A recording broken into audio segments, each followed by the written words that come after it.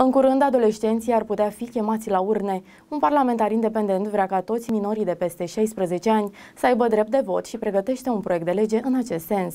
Adolescenții ar putea fi chemați la urne după ce un parlamentar independent a cerut ca toți minorii de peste 16 ani să aibă drept de vot și pregătește un proiect de lege în acest sens.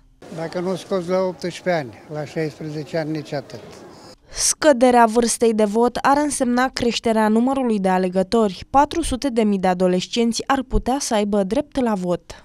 Păi ce să voteze? Nu, ce să voteze ei deocamdată? Până, nu, e, e major? Nu este o idee bună să voteze de la 16 Nu, nu, nu, nu. Nu e bine, că nu știu ce votează. Inițiatorul spune că tinerii nu ar fi suficient reprezentați la urne și automat politicienii sunt tentați să facă promisiuni țintite vârstnicilor. Până să devină lege, proiectul are de trecut un obstacol major, Constituția, care definește clar vârsta de vot.